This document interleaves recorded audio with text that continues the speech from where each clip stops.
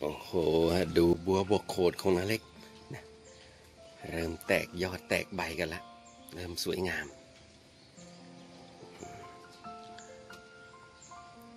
ก็ต้องใช้ที่พยุงนะ เป็นลวดนะ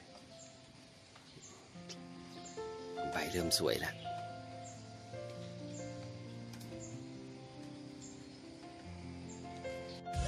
ช่องจิตในสารพี ท่านจะได้เรียนรู้กับเรื่องราวที่หลากหลายไปกับนาเล็กอย่าลืมกดติดตาม และกดกระดิ่งเพื่อแจ้งเตือนการลงคลิปใหม่ๆ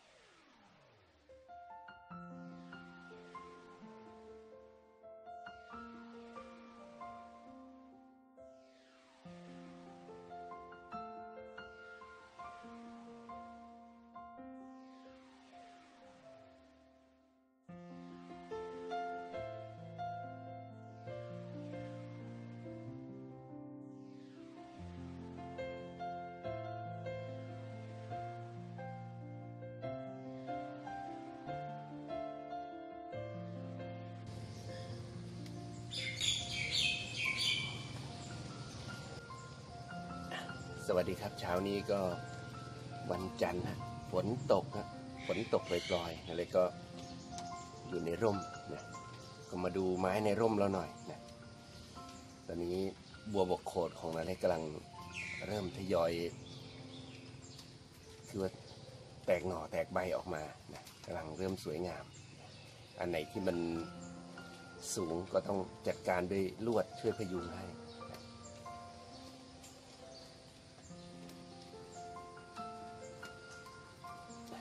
ยวมาเยี่ยมมาชมกันหน่อยนะว่าทำไป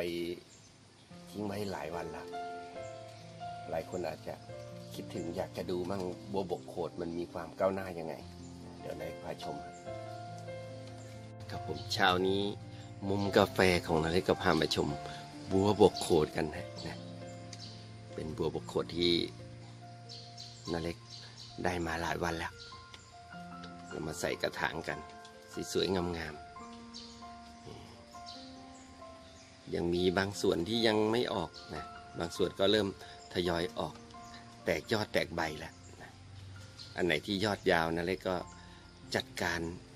ใช้ลวดพยุงนะ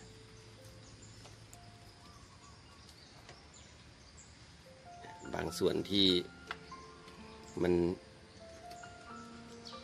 แบบว่ามันสามารถพยุงตัวเองนะอย่างเงี้ยเป็นกลุ่มเป็นหมู่อย่างเงี้ยใบสวยก็ ปล่อยเข้าไปนะให้เขาขึ้นเป็นกลุ่มเป็นหมู่ก็ถือว่าสวยงามนะก็ทุกวันนี้กำลังถือว่ามาแรงนะบัวบกโขด เป็นไม้ฟอกอากาศที่คนนิยมเอามาประดับในที่ทำงานกันนะโชว์หัวโชว์โขดกันบ้างนะบางหัวก็ตะปุ่มตะป่ำมีรอยมีรูนะ ก็เป็นศิลปะของเขาเนี่ยกำลังทยอยแตกหน่อขึ้นมานะฮะโอ้ยอนาคตต้นนี้ดูดูดีมีสง่าราศีนะเนี่ยฮะเห็นไหมความสวยงามของเขา แต่ละต้นมันก็มีเสน่ห์ไปคนละอย่าง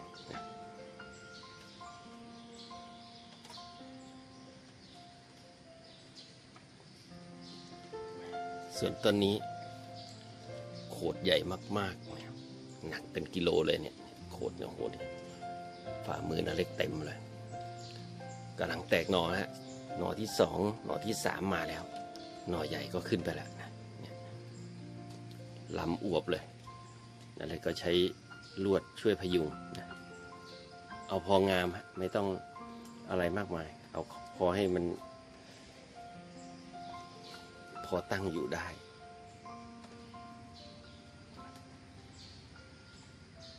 ส่วนตัวนี้ อ่า เนี่ยลำเขาขึ้นสวยล้ว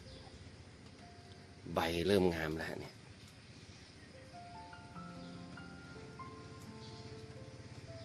นี่แหละบัวบกโขด สวยๆ งามๆ อย่างนี้แหละ ตั้งในที่ทำงานโชว์ที่ทำงาน โอ้โห มันเห็นแล้วมันสดชื่นฮะนะ มาดูอีกต้นหนึ่งตอนนี้ใบเขาเรียงหันหน้ามาทางเดียวกันเลย อันนี้ก็เพราะว่าเรื่องของแสงนะพอดี ตั้งไว้ข้างในแล้ว มันแสงมันเข้าทางเดียวนะตั้งอยู่ในร่มแล้วแสงเข้าทางเดียวมันก็ทำให้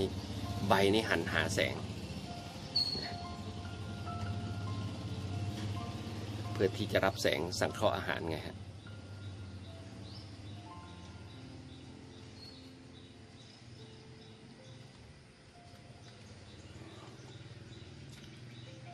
ต้นนี้ก็กำลังกำลังโผล่ขึ้นมาเหมือนกันนะโขดสวยๆงามๆกัน